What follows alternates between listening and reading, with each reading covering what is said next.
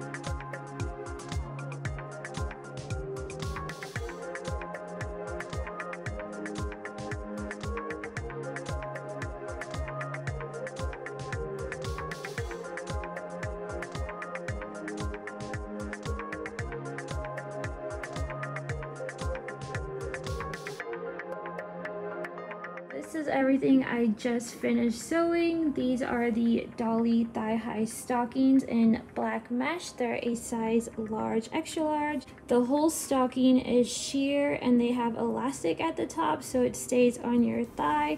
And these two little cute satin bows.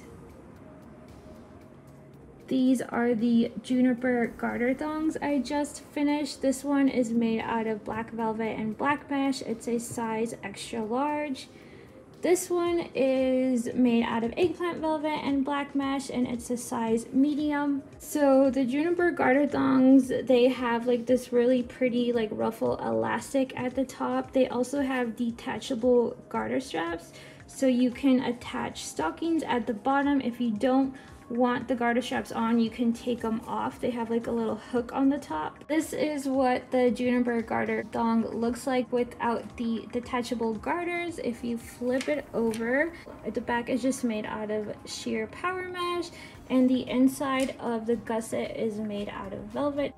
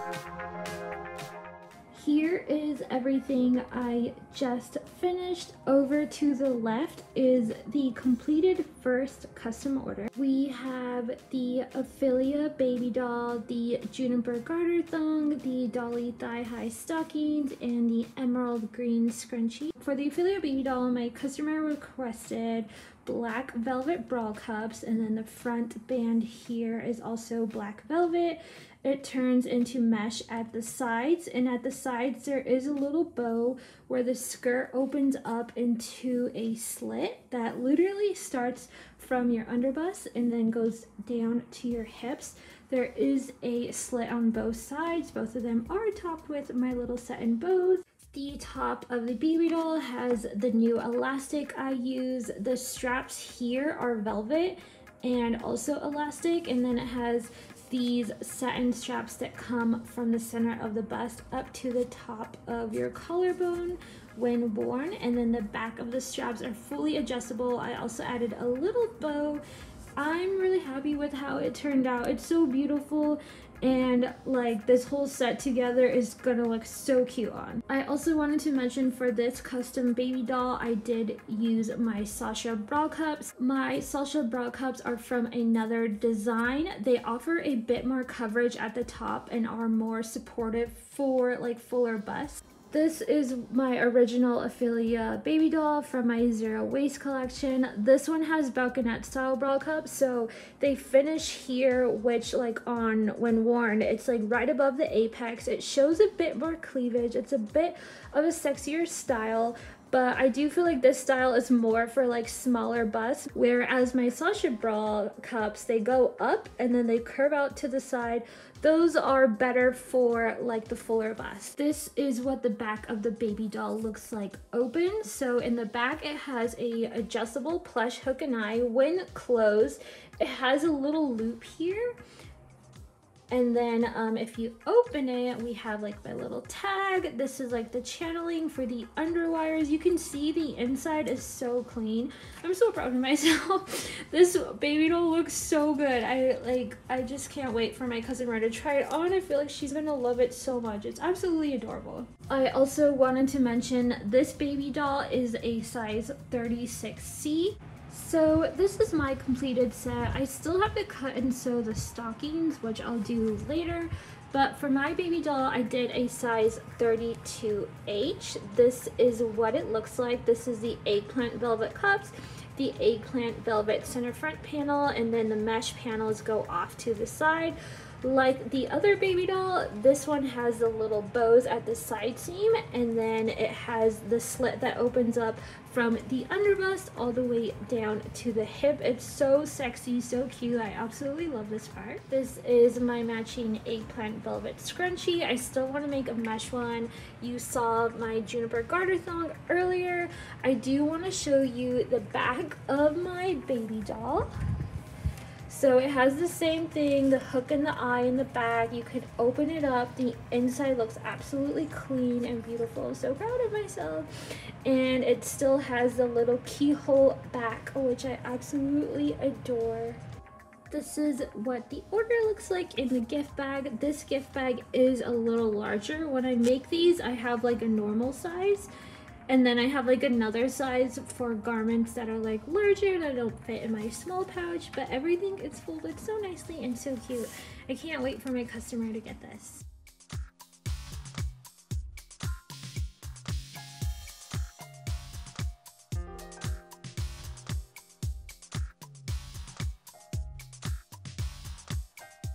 I just finished making the sewing pattern, so what I'm to do next is cut a bodysuit sample out of this fishnet fabric.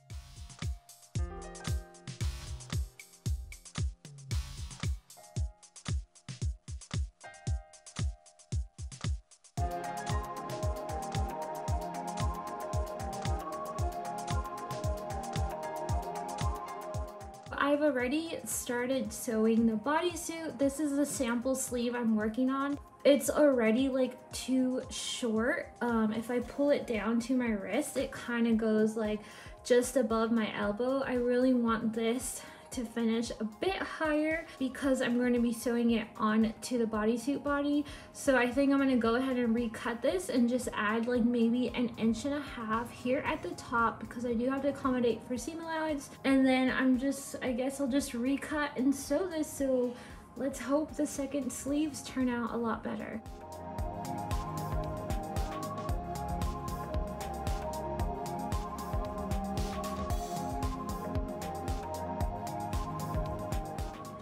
This is the first bodysuit sample I just finished. This is the front of the bodysuit. It has elastic right here at the bust. These are the sleeves. I didn't attach them just in case I need to readjust the sewing pattern. I'm gonna try it on really quick and see how it fits. This is the first bodysuit sample I made. I put it on over my workout clothes since the fabric is sheer. The fit is okay. I do feel like it's a bit baggy here at the waist. I'm happy I didn't attach the sleeves because they are really short. It looks like I need to probably add about four inches to the bottom where the wrist is. Here at the bottom of the bodysuit, I also feel like this fabric is just like bunching up for some reason. So I probably have to take it in a bit more at the side.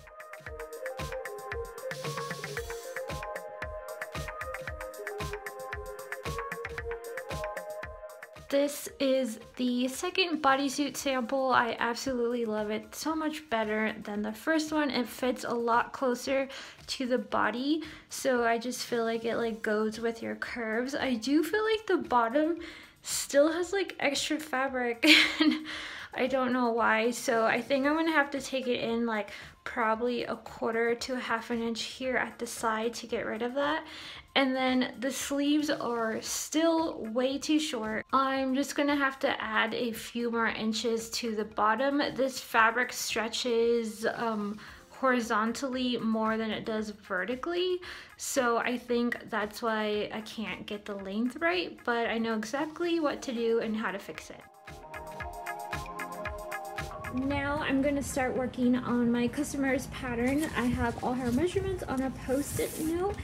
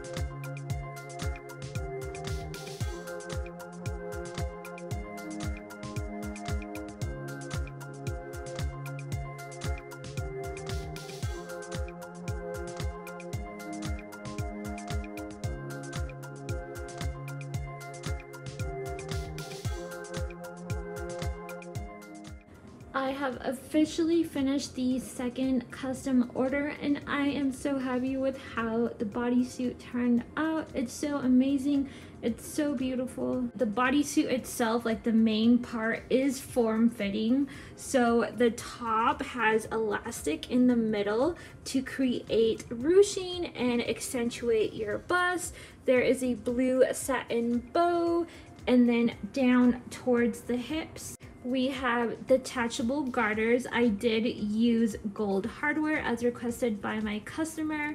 So if you open up this little clip here, you can attach stockings or if you don't want to wear stockings at all, you can easily remove all of these garter straps with the little gold hooks at the top the back of the bodysuit has a thong back. So if you follow my shop and you know a lot of my designs this design is basically my Lola top and Ramona thong converted into a bodysuit. So for these stockings they fit at the mid thigh. They have a lace welt at the top. The lace is very stretchy I have my customer's order all packed up. It's absolutely adorable. I am so excited for her to get this.